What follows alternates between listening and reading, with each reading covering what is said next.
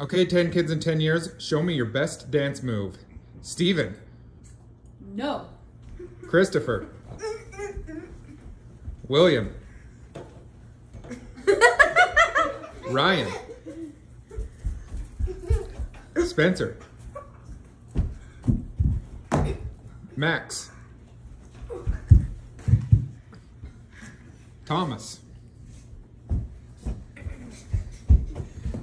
Henry. Lily.